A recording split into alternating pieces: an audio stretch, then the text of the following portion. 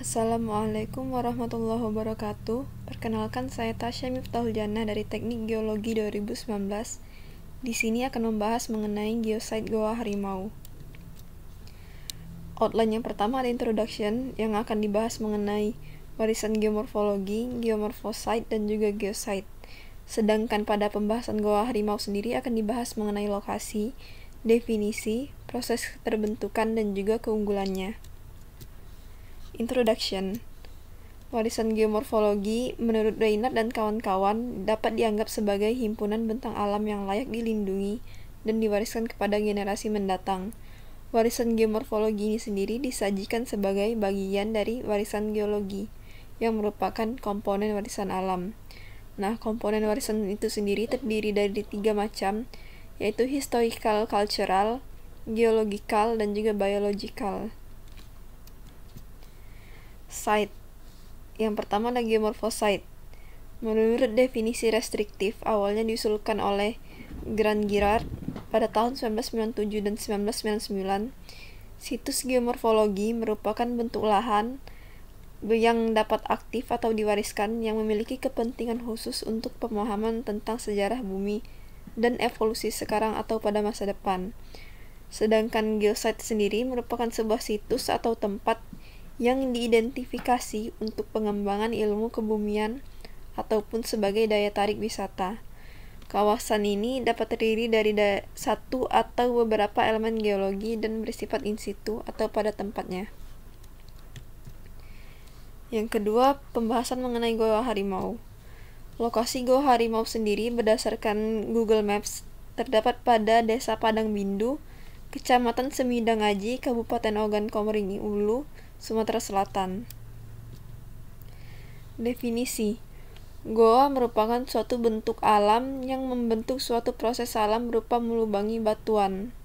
Secara umum terjadi pada dua batuan yang jauh berbeda jenisnya, yaitu pada batu gamping yang sangat intensif dan luas kejadiannya, dan pada kasus khusus di aliran lava basalt.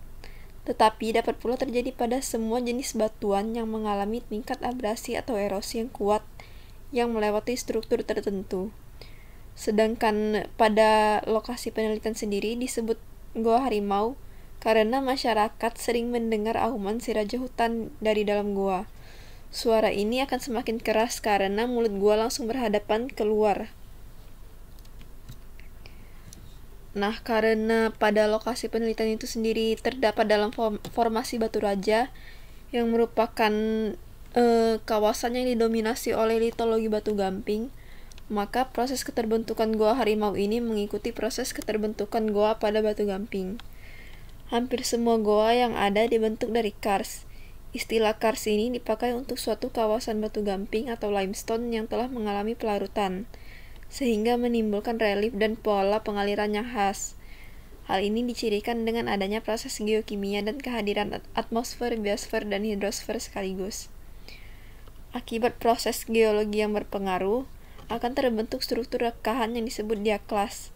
Diaklas ini merupakan jalur resapan air permukaan yang membentuk morfologi kars. Hal ini akan terus terjadi entah sampai kapan berakhirnya. Pembentukan goa ini akan sangat intensif di, di kawasan kars di mana batuannya didominasi oleh batu gamping, batu kapur atau limestone. Hal ini dikarenakan sifat batu gamping sendiri dengan unsur utamanya yaitu karbonat atau CaCO3 yang sangat reaktif terhadap larutan asam, khususnya yang mengandung karbon dioksida atau CO2. Sederhananya, proses pelarutan batu gamping ini sendiri mengikuti persamaan reaksi berikut, di mana ada CaCO3 atau e, kalsium karbonat ditambah H2O, air, dan juga karbon dioksida atau CO2 akan mengalami reaksi bolak-balik sehingga membentuk kalsium dan juga bikarbonat.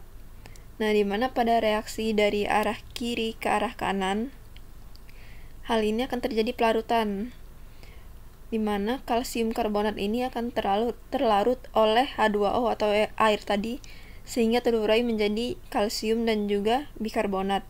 Pada proses pelarutan ini, maka akan terbentuk e, berupa rongga-rongga atau dapat juga kalau misalnya dia dalam waktu yang lebih lama dapat terbentuk gua tadi. Nah, sedangkan pada reaksi dari arah kanan ke kiri, maka dari Ca atau kalsium dan juga bikarbonat ini sendiri akan terbentuk pengendapan sehingga dapat membentuk e, suatu bentuk lahan kars seperti stalaktit pada bagian ini yang di atas ini dan juga stalagmit. Stalaktit dan stalagmit ini terbentuk akibat adanya pengendapan dari reaksi e, dari arah kanan ke arah kiri ini. Namun demikian tidak sembarang batu gamping dan tidak sembarang tempat bisa membentuk gua. Gua batu gamping ini yang memiliki e, bentuk berlorong panjang dan berliku umumnya berkembang akibat adanya proses pelarutan dan diperbesar oleh adanya proses erosi atau abrasi serta faktor iklim, tanah penutup, dan keberadaan air tanah menjadi kontrol utama proses penggunaan ini. Pengguaan ini.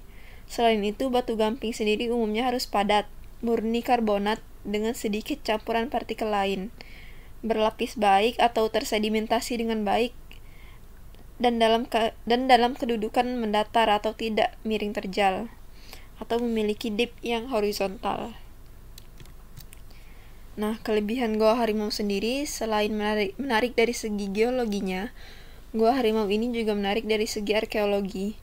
Pada Goa Harimau ini, arkeolog menemukan sisa hunian, perbengkelan, dan kuburan dari ras Mongoloid. Penghuni gua dengan budaya Neolitik sekitar 4000 tahun yang lalu, yang berlanjut ke budaya paleometalik sekitar 2000 tahun yang lalu.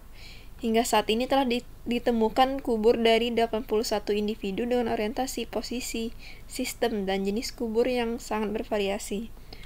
Kepadatan kubur ini tiada duanya di Indonesia dan hal ini sangat penting bagi pemahaman tentang kehidupan leluhur bangsa di masa lampau. Nah, pada gambar di sebelah kanan ini merupakan eh, gambar dari kuburan purba yang terdapat pada situs Gua Harimau.